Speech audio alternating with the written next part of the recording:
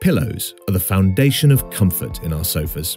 Those can be stuffed with natural fillings like feathers or synthetic materials such as silicone. In this video, you will learn how pillows with loose fillings are made. The journey of each pillow starts in the sewing department, where the inner cover is sewed. Ready covers are moved to the filling department, where it's filled by using specially calibrated equipment that measures the amount of down of feathers going inside.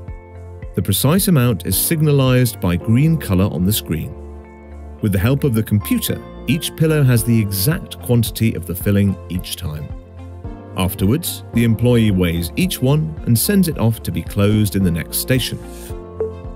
Our pillows and cushions come in various sizes to ensure a spotless look of each design.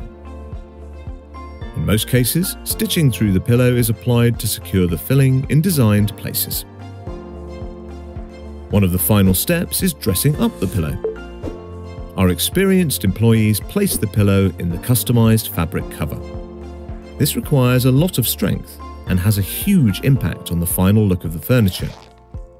Before the sofa is ready for shipping, it needs to go through quality control, where every cushion and pillow will be carefully checked if it matches our quality standards. Loose filling pillows require regular fluffing and shaking to prevent breaking down the feathers. To learn how to do it properly, check out the Care Guide section on our website.